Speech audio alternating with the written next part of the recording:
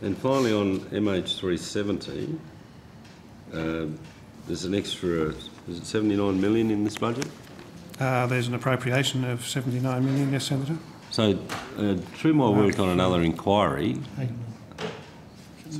I'm sorry, Senator. Yep. so, so through my work on another inquiry, uh, it was put to uh, that committee that um, uh, an unmanned platform or a UAV could have been, could have been in place where you were searching within 12 hours and sustained indefinitely through changing over with Christmas Island.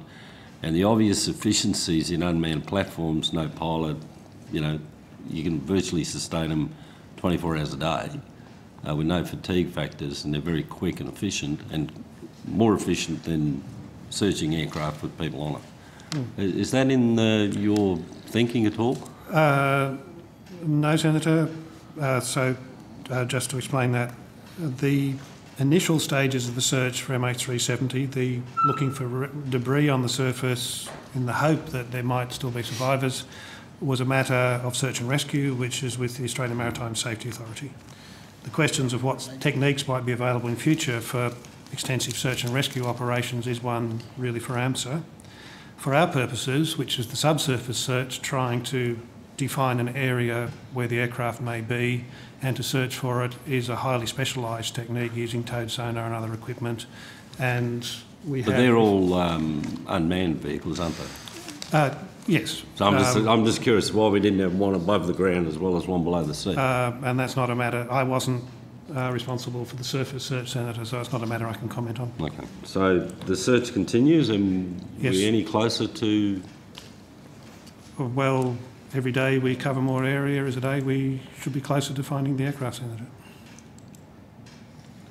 We should just ask the Chinese, they probably know. Yeah. thank you, Am I allowed to say Chair. that? Am I allowed to say that? Uh, we're, we're confident, Senator, that if, as we think we have, we've defined the search area um, well, uh, that we have the techniques and the capability to find the aircraft. So we have confidence, but not certainty we will find it.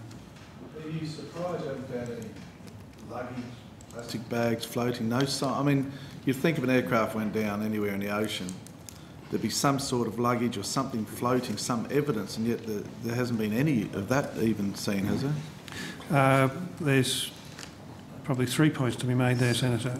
Uh, the first is that historically, if you look at the range of collisions of passenger aircraft with water, there's a range of possibilities, some of which have very little floating debris at all, some of which have extensive floating debris, such as Air France 447 in the South Atlantic.